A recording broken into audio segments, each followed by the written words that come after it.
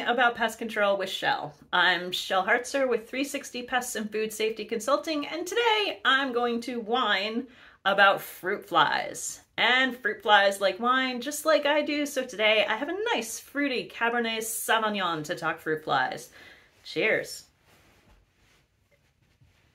Mm, I think that needs to breathe a little bit more. For all of us who have dealt with tricky small fly issues, you know that identification is important. There are plenty of great resources out there and folks to help with that ID. So I'm not going to delve into that. However, we did drop a couple links in the description section to help you with identifying those small flies if you want it. Fruit flies, easy to deal with. Just clean up all the sanitation issues that their breeding ground is in and your problems are fixed. Of course, that's what makes these so challenging, is that it's hard to find those sources sometimes. Ultimately, you are looking for the buildup of organic material, or as I like to refer to it as gunk. Remember that this is where the larvae are developing. You can knock down as many adult fruit flies as you can, and about seven days later, you're back to where you started because all those little larvae have now developed into adults and are laying more eggs, which means more larvae and the problem blossoms. Ultimately, you have to get the gunk.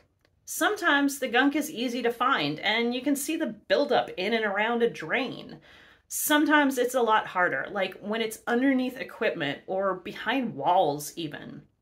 It doesn't take much gunk to support a population of fruit flies. Fruit flies do like fruits and vegetables, particularly those onions and potatoes when they start to turn bad. Bar areas with alcohol, like my wine here, are another great hotspot. Fruit flies like the alcohol. I do too. Soda machines, ice makers, trash bins, the list goes on. Once you eliminate those obvious spots and you're still having a problem, start looking a little bit further. One tip is to start inspecting the warm spots, anything that has a motor on it or is going to run a little bit warmer. And if there's moisture there too, you have that potential buildup of gunk.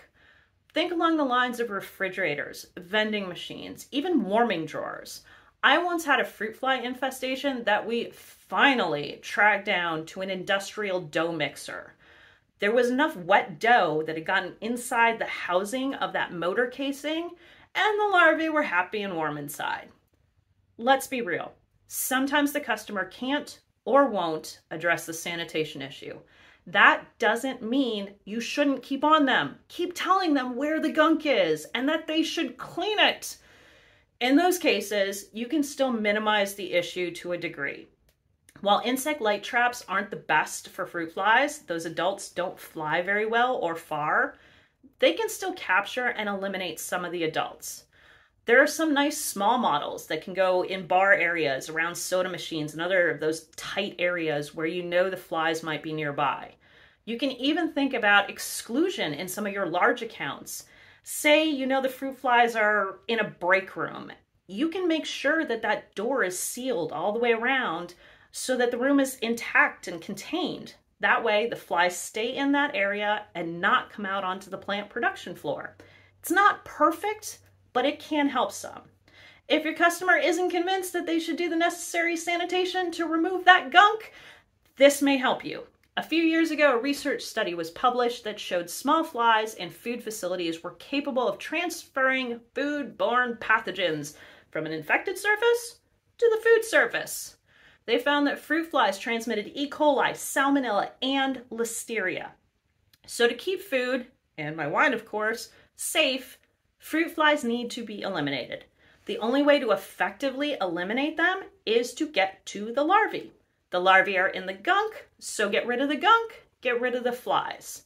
There is a whole fruit basket of information related to fruit flies. I have just covered a single bite, a single sip. There will be more episodes, I promise. In the meantime, if you want to whine about pest control issues that you might be having, reach out to me to see how I can help. Cheers.